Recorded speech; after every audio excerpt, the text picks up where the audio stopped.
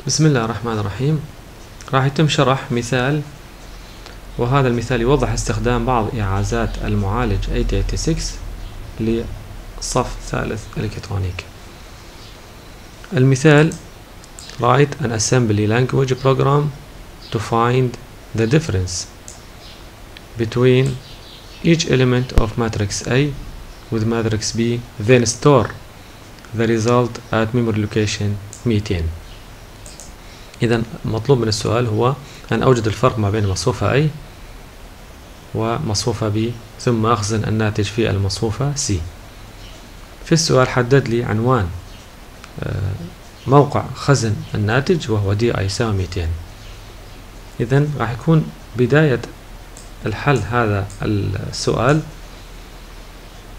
أنه أختار أيضا عنوان للمصفوفة A وتم اختيار A 100 نلاحظ MOV SI 100 وهذا يمثل لي عنوان المصفوفة A ثم عنوان المصفوفة BX عنوان المصفوفة B وتم اختيار السجل BX وعنوان المصفوفة سي وهو المكان خزن الناتج راح يكون عندي 200 بعد ذلك أحدد لي عداد عداد يتحكم بعدد هاي الأعداد حتى من ينتهي هذا العداد أنا أكون بالنهاية قد أكملت عملية طرح المصفوفة أي ناقصا المصفوفة B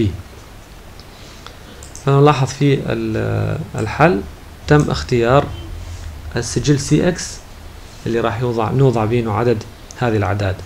طبعا عدد الأعداد هو عشرة واحد اثنان ثلاثة أربعة خمسة ستة سبعة ثمانية تسعة عشرة.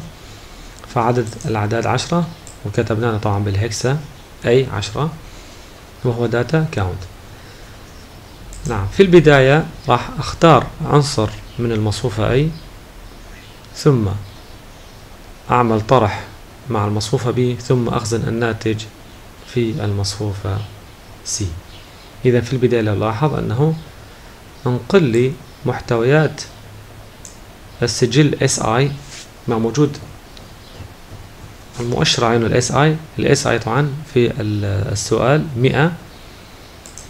وما دام إحنا مو ان الرقم ما دام موجود ما بين هاي القوسين هو يمثل لي عنوان يمثل عفوا محتويات ذاكرة.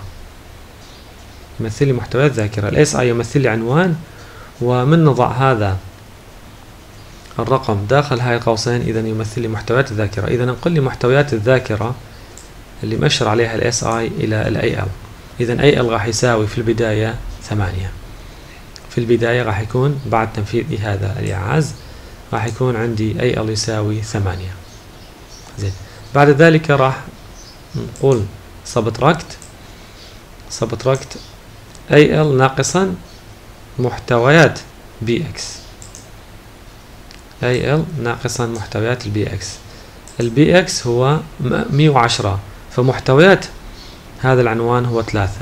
إذا راح يكون عندي بعد تنفيذ هذا الإعاز أنه راح يكون عندي ثمانية ناقص ثلاثة وراح تكون النتيجة موجودة في ال زين.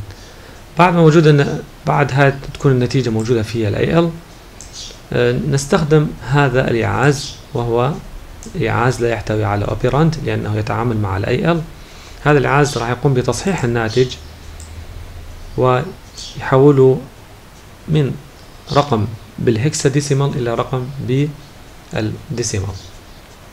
إذا هذا الإيعاز راح يحول لي الرقم الناتج من عملية الطرح ويكون بشكل decimal. نعم. بعد ذلك راح أنقل الناتج إلى المصفوفة C. فالمصفوفة C اللي مأشر عليها هو السجل دي اي 200 إذا راح أنقل الناتج اللي انخزن في ال AL إلى ما مؤشر عليه إنه ال DI بعد هاي العملية راح أكرر نفس الحالة للأرقام البقية. نفس الحالة أعيدها للأرقام البقية. فأول شيء لازم أغير الرقم SI إلى 101 وأغير رقم BX إلى 111 وأغير الرقم DI إلى 201 حتى آخذ الرقم الثاني وهكذا. فلو نلاحظ في الحل انه increment SI فراح يكون عندي SI يساوي SI زائد واحد.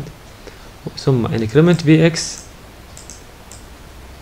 وبعد ذلك انكريمنت دي اي اذا راح يكون مؤشر هذا العنوان راح يأشر لي على الرقم الثاني.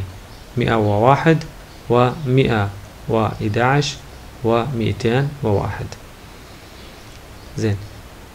تذكرون إحنا خلينا عداد حتى حتى كل كل عملية طرح أنقص من عدد الأعداد مالي حتى بالنهاية أكون قد أنهيت عملية الطرح لكل آه، عناصر المصفوفة اذا بعد ما أزيد وأخذ الأرقام الثانية أنقص عندي ال D انقص عفوا ال CX انقص ال CX راح يكون عندي CX يساوي CX minus واحد. فال CX إحنا حددنا له بالرقم عشرة. اذا راح يكون عندي DX عفوا decrement CX راح يكون عندي CX يساوي تسعة. لأن أنا فعلا بقى عندي تسعة أرقام وهكذا. راح أستخدم إيعاز ال jump no zero. طبعا ال jump no zero يتعامل مع الإيعاز اللي قبل هذا الإيعاز. ف DX راح يتم تنقيصه تسعة ثم ثمانية ثم سبعة وهكذا. في كل عملية راح ينقص كل عملية أجريها على عنصر من عناصر المصفوفة راح ينقص CX إلى أن تصبح قيمة CX تساوي صفر وبعد ذلك ينتهي البرنامج. إذا هذا الإيعاز jump no zero jump no zero راح يقفز إلى هذا ال label next اللي راح ياخذ لي الرقم الثاني لأن ال SI راح يكون آه بعد زيادته راح يكون SI 101 اللي يقصد به رقم 7 وهكذا. وشكرا لإصغائكم